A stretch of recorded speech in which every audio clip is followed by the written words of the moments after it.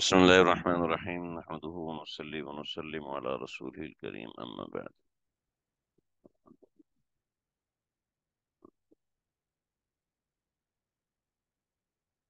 ये समझ ये समझ आया है कि जन्ना के मंजर खुशी मुसलमानों के लिए दिलों में सुकून अदा करेंगे क्या जी, वो तो है। वो जो एक मिनट। बिस्मिल्लाहिर्रहमानिर्रहीम।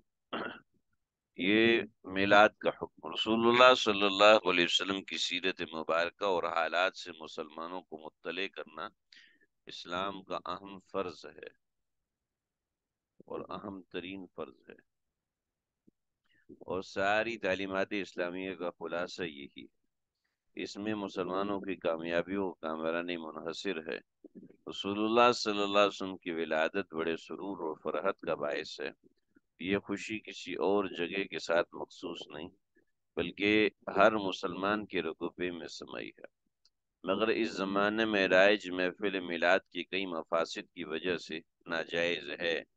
मसलन रसूलुल्लाह सल्लल्लाहु अलैहि वसल्लम के बारे में अकीदा रखना कि रसूलुल्लाह सल्लल्लाहु अलैहि वसल्लम महफिल मिलाद में तशरीफ़ लाते हैं जबकि ये वाज कुफर है जिसकी हरमत कुरान करीम की आयात आयात और फ़िक्र की इबारात से भी साबित है फतावा बजाजिया में है कि जो शख्स कहे कि मशाइ और बुज़ुर्गों की रूहें हाजिर होती हैं तो उसको काफिर समझा जाए फ़िक्र की किताबों में यह मसला भी मजकूर है जो शख्स निकाह के वक्त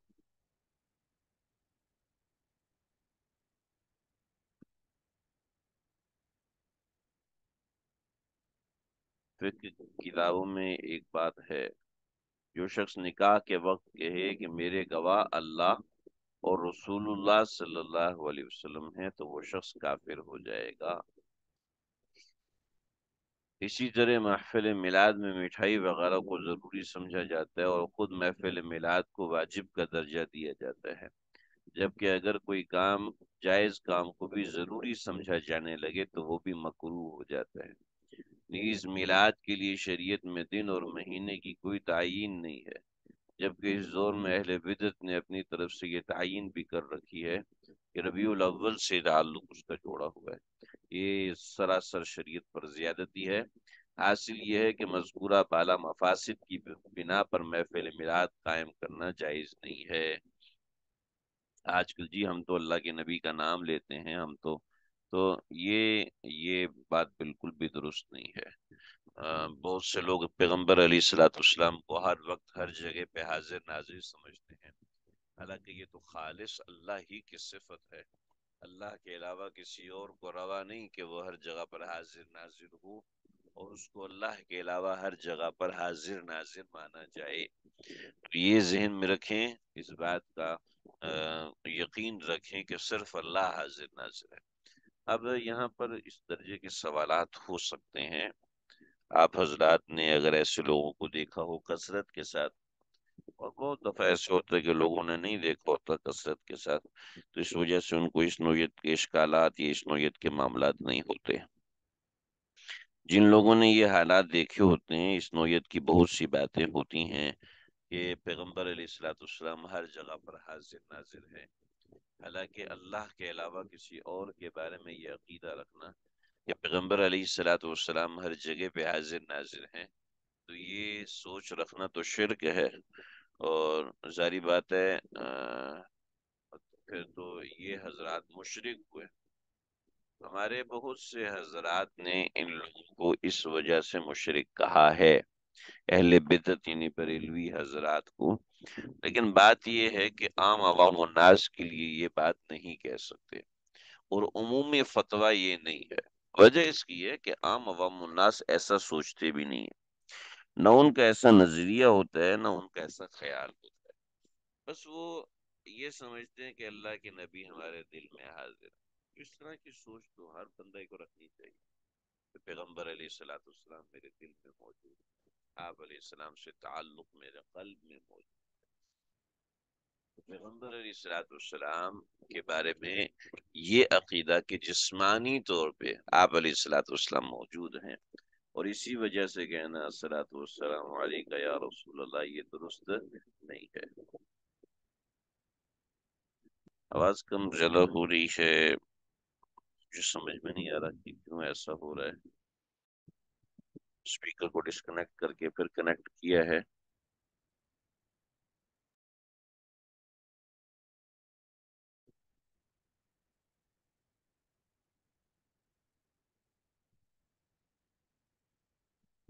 असल में ये मेरा शायद माइक जो है उसमें खराबी आना शुरू हो गई है।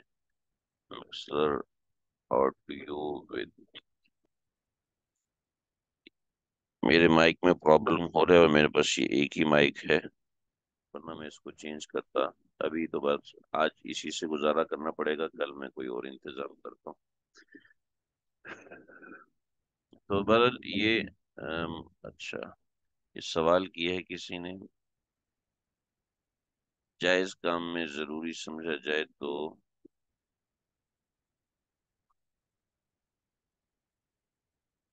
तो मकरू है, इसकी कोई मिसाल दे दें। जायज़ मुराद क्या है? मुबाह काम। देखें, जायज़ काम ये है पैगंबर सलाम का तस्करा करना एक जायज़ अमल है। पैगंबर सलाम का तस्करा एक जायज़ अमल है और उस जायज़ अमल को आप इस तरह लाजिम करें कि हमने फुला वक्त में ही करना है, जिससे रबी अव्वल के महीने में ही करना है। और उसको पूरी कौम अपना एक शार बना ले, उसको पूरी कौम अपने ज़िंदगी का एक हिस्सा बना ले कि भाई इसमें करना ही करना है, नहीं करोगे तो घर में बरकतें नहीं आएँगी, नहीं करोगे तो ये नहीं होगा, वो नहीं होगा। उसको मखसूस कर लेना, मखसूस तवारीख के साथ, तारीखों के साथ ये अमल मकरू ठीक है ना? यानी जायज़ अमल को फ़र्ज़ का दर्जा दे देना, ठीक अब जैसे जिक्रुल्लाह है, ये जायज़ है, ठीक है। हम इसको फ़र्ज़ का दर्जा नहीं देते जिक्रुल्लाह एक मुबाह और मुस्तहब अमल है, लेकिन हम इसको नहीं देते, कहते कि भाई यही करना है, अगर इसके अलावा कुछ किया ना तो तुम गुनहगार हो जाओगे। अगर इसके अलावा कुछ किया तो तुम वहाबी हो जाओगे, ऐसा नहीं, ठीक है। जैसे उम्र एक जायज़ अमल है, हज एक जायज़ अमल है। हम इसको कह दें ये फ़र्ज़ है, ठीक है, ये दोस्त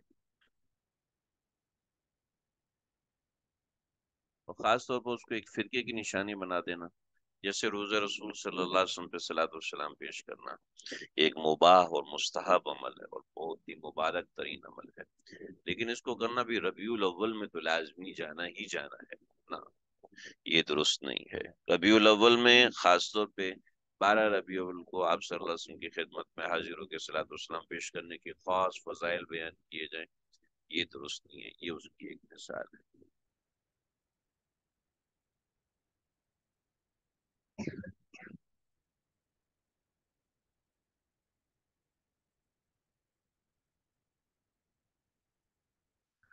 बाकी मेरा ये जो जो पॉपअप खुलता है, ये काफ़ी इसमें सेटिंग मेरी ऐसी ख़राब है कि पूरा सवाल नहीं खुलता, आधा सवाल खुलता है, उसको अप एंड डाउन करना पड़ता है उस वजह से। अच्छा इसका दर्जा सिर्फ़ मकरू है जी, मकरू है और बाज़ सूरतों में वो बिदत का दर्जा बन जाता है और बाज़ सूरतों में वो शिरक का दर्जा बन जाता है। लेकिन यहाँ एक मसला ज़िक्र किया आगे देखें मुरवजा सलाम। याद रखना चाहिए, इबादत का जो तरीका रसूलुल्लाह सल्लल्लाहु अलैहि वसल्लम ने इरशाद फरमाया उसके मुकाबले में किसी और का खुद साख्ता तरीका ना शरीयत में काबिल कबूल है और ना ही इसमें अजर सवाब की उम्मीद की जा सकती। बुखारी और मुस्लिम की एक रिवायत के मुताबिक एक मौके पर हज़रत साहब करम रज़ी अल्लाह अजमाइन ने आपसे दरुज शरीफ पढ़ने का तरीका सिखाने की दरख्वास्त की तो आपने आपने फरमाया कि तुम लोग ये कहो सल्लि अला मुहम्मद व अला आलि मुहम्मद कमा सल्लैत अला इब्राहीम व अला आलि इब्राहीम इन्नका हमीदुम मजीद अल्लाहुम्म बारिक अला मुहम्मद व अला आलि मुहम्मद कमा बारकत अला इब्राहीम व अला आलि इब्राहीम इन्नका हमीदुम मजीद तो ये दुरूद इब्राहिमी आप अलैहि सल्लल्लाहु अलैहि वसल्लम ने सिखाया ये तालीम का मौका है और ज़ाहिर है जिस तरह दुरूद शरीफ की तालीम इस हदीस में दी गई इसमें मुरवजा दरूद सलाम पढ़ने में पढ़ने का कोई ताल्लुक नहीं यानी कि खड़े होके पढ़ते हैं सारे मिलके सोचने की बात यह कि सलाम को यही मुरवज तरीका दुरुस्त होता तो यकीन आप वसल्लम इसी तरह,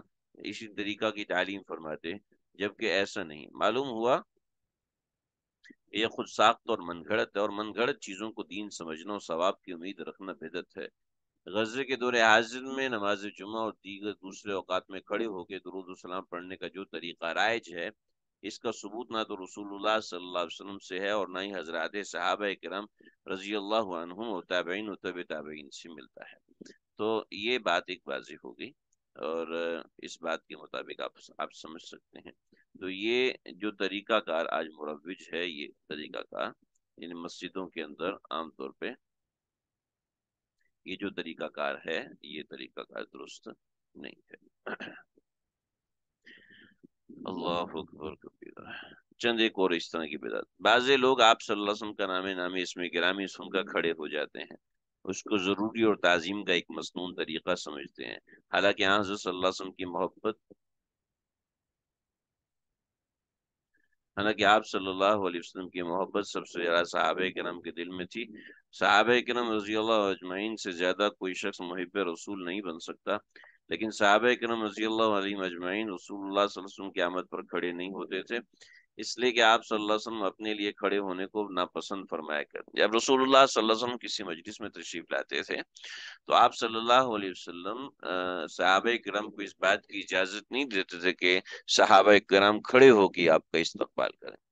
चनाचे बहुत से स्कूलों में ये बात राइज है कि उस्ताद आता है तो क्लास स्टैंड अप हो जाती है। ये बात खिलाफ शरा है ये बात दुरुस्त नहीं। ऐसे शेख आते हैं और तो सारे मुरीदीन खड़े हो जाते हैं, ये बात बिल्कुल दुरुस्त नहीं है, खिलाफ शरा है। हज़रत वाला रहमत एक मरतबे अपनी मजलिस में तशरीफ़ लाए तो मैं वहाँ मौजूद था तो सब वहाँ पे हाजरीन जो थे वो खड़े हो गए। तो एक मुफ्ती साहब को मैंने देखा कि वो बावजूद इसके कि तमाम लोग दाएँ बाएँ थे, वो बैठे रहे। तो मैंने पूछा मौलवी साहब आप बैठे रहे, मैं समझ नहीं पाया क्या ये शरीयत का हुक्म फरमाया, शरीयत का हुक्म ये है कि जब कोई आए तो खड़े, बैठे रहो। हर किस खड़े मत हो। हमारे यहाँ ताजीम ये समझी जाती है कि उसके ताजीम में खड़े हो जाते हैं। हाँ उससे मिलना है या रास्ता देना है तो एक अलग बात है, वरना कोई बुज़ुर्ग आए और उसकी ताजीम में खड़े हो जाना, ये बिल्कुल ना, नापसंदीदा और गलत तरीन अमल है। और, आजकल शदीद इस बात की ज़रूरत है कि इस बात का लिहाज रखा जाए कि जैसे मैं एक मरतबा मस्जिद से निकल रहा था तो सोसाइटी के गेट पर हमारे, मेरे बड़े अच्छे दोस्त मस्जिद के साथ ही वो एक दिन गुजरा, खड़े होकर सलाम किया, फिर दूसरे दिन गुजरा, खड़े होकर सलाम, तीसरे दिन तो मैंने उनसे कहा, भाई, आप, प्रवेश भाई, आप ये क्या करते हैं? कहने के जी आप जारी बात है, आप ये ये कहने लगे तो मैंने कहा, भाई शरीयत में मना है कि खड़े हो, किसी का इकराम के लिए खड़े हो जाना, ये किसी की ताजीम के लिए खड़े हो जाना, ये शरीयत में पसंदीदा नहीं है। हमें ताजीम जो सिखाई है, वो शरीयत ने सिखाई है, उससे हट करना बस अगर ताजीम का ये तरीका मुस्तासन होता तो आप सल्लल्लाहु अलैहि वसल्लम साहब करम ज़रूर इसे अपना लेते और आप सल्लल्लाहु अलैहि वसल्लम इसको नापसंद ना फरमाते। जब खुद वसल्लम की आमद पर खड़ा होना साबित नहीं, बल्कि इसके खिलाफ मनकूल है तो आप वसल्लम के नाम के तस्करे पर खड़ा होना कैसे दुरुस्त हो सकता है? अजान इकामत में रसूलुल्लाह वसल्लम का नाम नामी आ जाने पर अंगूठे चूमने का किसी भी सही हदीस से सबूत नहीं मिलता। इमाम सयूती रहमत ने इस तरह के तमाम रिवायत को मौजू और मनखड़त करार दिया है। इसको मजनून समझना बिदत है। आजकल अहले बिदत इसे सुन्नत से भी बढ़ के ज़रूरी समझते हैं अंगूठे ना चूमने वालों को मलामत करते हैं। इसलिए इससे इज्तनाब लाजिम है। आगे एक और बिदत है कि बाज़ लोग सफ़र के आखिरी बुध को इस अकीदे से उमदा खाना पकाते हैं या मिठाई वगैरह तकसीम करते हैं कि इस दिन रसूलुल्लाह सल्लल्लाहु को मरज से शिफा हुई थी। आप सल्लल्लाहु ने गसल सेहत फरमाया था ये ये गलत और मन घड़त अकीदा है, इसलिए ये रस्म नाजायज और गुना है। बाईस रजब को बाईस रजब को कुंडे की रस्म हकीकत में दुश्मनान सहाबा ने हज़रत माविया रज़ी अल्लाह तो की वफात पर खुशी का इजहार करने के लिए ईजाद की है। इसलिए कि बाईस रजब को हज़रत माविया की तारीख वफात है, अगरचे की राज कौल नहीं है। इस जुर्म पर पर्दा डालने के लिए ये लोग इस रस्म बद को इमाम जाफ़र सादिक की तरफ़ मंसूब करते हैं कि उन्होंने, इमाम जाफ़र सादिक ने खुद इस तारीख को अपनी फातिहा का हुक्म दिया था। हालाँकि ये सब मन घड़त है बाईस रजब का हज़रत इमाम जाफ़र सादिक से कोई ताल्लुक नहीं। न इस तारीख में आपकी विलादत हुई थी और न इस तारीख में आपकी वफात हुई है। हज़रत इमाम जाफ़र सादिक की विलादत आठ रमज़ान अस्सी हिजरी या तिरासी हिजरी में हुई और वफात एक सौ अड़तालीस हिजरी में हुई। लिहाजा ऐसी बुरी रस्मों में किसी तरह भी शरीक होना जायज़ नहीं है। एक बड़ी अहम चीज़ है कि बाज़ इलाकों में रिवाज है कि जब बच्चे का पहला रोजा रखवाते हैं तो इफ्तार के वक्त इसके गले में हार डालते हैं, खाना पकाकर दोस्त, अहबाब, रिश्तेदारों की दावत करते हैं, मस्जिद में भी इफ्तार के लिए खाना भेजा जाता है, इस रस्म का शरीयत में कोई सबूत नहीं। इसको सवाब समझ के करना दीन में अपनी तरफ़ से ज्यादती करने की वजह से बिदत और नाजायज है। इसी तरह कब्र पर चराग जलाना भी बिदत है। जो लोग कब्र पर चराग जलाते हैं, उन पर वसल्लम ने लानत फरमाई है। एक बड़ी अहम बिदत जो है हमारे आज के मामले में, आज के ज़माने में मशहूर है कि रमज़ान के आखिरी जुमा में विदाई खुतबा पढ़ते हैं। उसमें अलविदा, अलफराक जैसे अल्फाज कहने को का शरीयत में कोई सबूत नहीं मिलता। ये पिछले कुछ अरसे से शुरू है। हज़रत मौलाना अब्दुल हई लखनवी रहमत दलाय के साथ साबित किया ये ममनू और बिदत है। मुबारक रातों में मसाजिद में इज्तिमा करना, बड़ी अहम बात है जी, बड़ी अहम। ईदैन निसफ शाबान, रमज़ान मुबारक के आखिरी अशरा और दूसरी मुबारक रातों में मसाजिद में आकर इबादत करने के बारे में तफसील ये है कि बगैर अहतमाम के इतफाक़न मसाजिद में आके इबादत करना जायज़ है। अलबत् नवाफिल और ज़िक्र घर में करने का सवाब ज़्यादा है। नवाफिल के लिए मस्जिद में आने का अहतमाम करना और इसको ज़्यादा फजीलत का बायस समझना बेदत है। इसलिए कि नवाफिल के लिए मस्जिद का अहतमाम करने का मतलब ये है कि मस्जिद में नवाफिल पढ़ने का सवाब ज़्यादा है। कोई आता है मस्जिद में तनशीद के लिए, अपने फ्रेश होने के लिए तो ठीक है, बाहर चल रहा है। बाहर आया कि रात घर में बैठूँगा तो नींद आएगी तो कुछ थोड़ा सा वक्त मस्जिद में गुजार लेता हूँ, थोड़ा सा वक्त एतकाफ की नीयत से मस्जिद में बैठ जाता हूँ तो ठीक है। लेकिन खास तौर पे जाना कि मस्जिद में जाने से ज़्यादा सवाब मिलेगा दुरुस्त। अगर इन बरकत वाले रातों में इज्तमाही शक्ल में इबादत का अहतमाम किया जाए, मसलन नवाफिल की जमात की जाए तो ये भी ये भी बिदत है और इसमें मजीद एक खराबी ये है कि नफली इबादत के लिए इज्तमाही शक्ल पैदा की गई जो कि शरण नफली इबादत तो है, जो है वो जमात के साथ नहीं होती है, ये याद रख। हमारे यहाँ तो खातन भी सलात तस्वीर की नमाज़ पढ़ा रही होती हैं जनाब। मैंने पढ़ानी है नमाज़ क्योंकि फला को याद नहीं रहता, फला सारे सब का ठेका इन्होंने लिया हुआ है और सब की नमाज़ इन्होंने सेट करने का का ठेका लिया हुआ है, ऐसा नहीं है बारिश और वबा के वक्त अजान देना शरान साबित नहीं है। इसको सुन्नत या मुस्तब समझना दुरुस्त नहीं है। लेकिन अगर कोई वैसे ही अजान दे देता है कि अजान देने से अल्लाह ताला की रहमत मुतवज होगी तो ठीक है, उसमें कोई हर्ज की बात नहीं। जैसे पिछले सालों में रात दस बजे का टाइम मुकर किया कि सब लोग इस वक्त अजान देंगे तो कोरोना की वबा के छुटकारे के लिए ऐसा करेंगे, वैसा करेंगे तो ये ये हमारे हजरात ने इसकी हौसला अफजाई नहीं की थी। इसलिए कि कोई ऐसा शरण साबित नहीं है। ऐसी अजान दे रहे हैं। वो तो पाँच वक्त मस्जिद में हो रही है ना अजान तो खास तौर पर रात दस बजे देने का कोई खास मामला नहीं बनता। अलबत्ता आज देखा आज भी देखा कई दफे ऐसा, कभी दिन दस बजे अजान हो रही कभी रात दस बजे अजान हो रही क्यों हो रही है जी? फला घर में मुसीबत आ रही है तो उन्होंने पैसे दिए कि मस्जिद में अजान दो, हमारी मुसीबत खत्म हो जाए।